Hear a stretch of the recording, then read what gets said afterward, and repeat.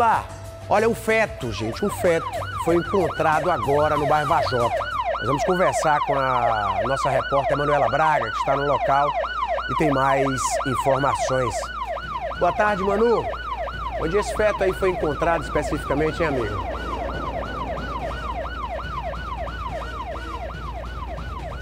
Boa tarde, Márcio. Nós estamos aqui na rua Delmiro Gouveia, como você bem disse, bairro Varjota, uma rua bastante movimentada aqui nessa região. Era por volta das 10h30 da manhã, quando a polícia foi acionada para cá pelos moradores. A VTR 8771 está aqui e lá do lado do poste, ó, onde tem aquelas pessoas que estão chegando agora, tem uma sacola que lamentavelmente tem um feto, né, um feto humano é, eu tive permissão para me aproximar um pouquinho né, da, de onde está o, feto e é possível a gente observar que deve ter entre 5, 6 meses, mais ou menos, porque tá com a, as mãozinhas todas formadas, enfim, mas eh, eu tenho que é, ser muito sincera para vocês em dizer que meu psicológico não me deixa, não me deixou olhar mais, sabe?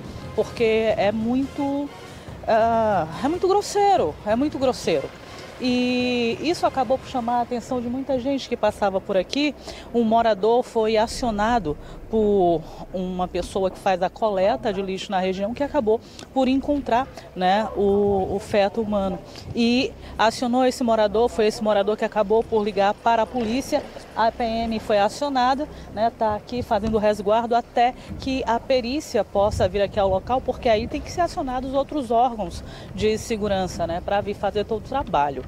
É, o que a gente pode observar também, já que eu cheguei tão perto, né, que o cordão umbilical está ali, existe né, bastante sangue é, no ponto, dentro da sacola, enfim. Parece ser coisa de pouco tempo, não faz muito tempo.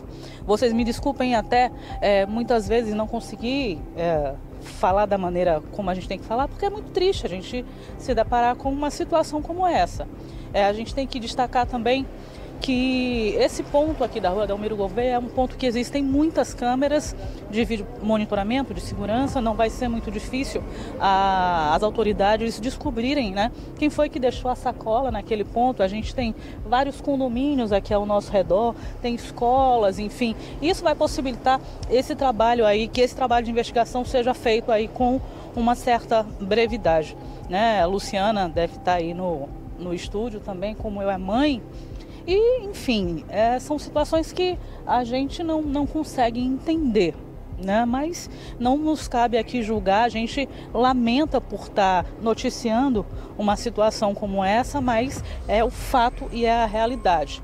Né? Quando você se aproxima e vê ali o que eu vi agora há pouco, não tem como você não se emocionar e lamentar, porque a criança já estava completamente formada, né? Isso que eu posso dizer para vocês.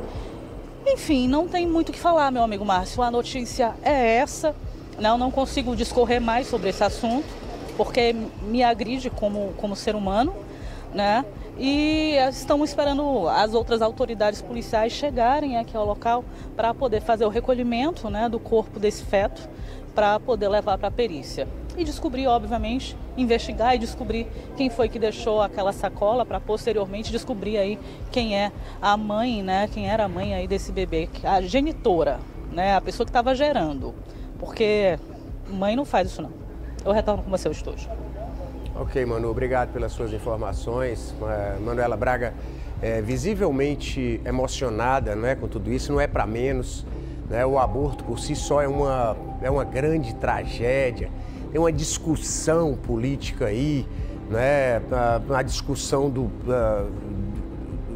do aborto lá no Congresso Nacional, gerou uma polêmica, quando a mulher é vítima de estupro, quando não é, né? enfim, tudo isso né, dentro de uma tragédia por si só, porque o próprio aborto já é isso, não é uma tragédia. Agora a polícia aí vai desvendar se esse, se esse feto não é, foi jogado nesse local, se é alguém próximo que foi ali e deixou apenas na, na calçada.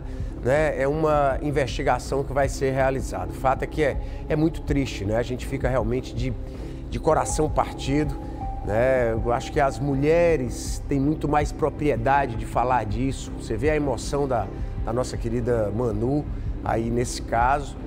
Né? É um assunto extremamente polêmico que precisa ser discutido com toda a sociedade, porque apesar desse negócio de dizer ah, o aborto vai ser legal ou não, eles acontecem e acontecem aos milhares, todos os anos.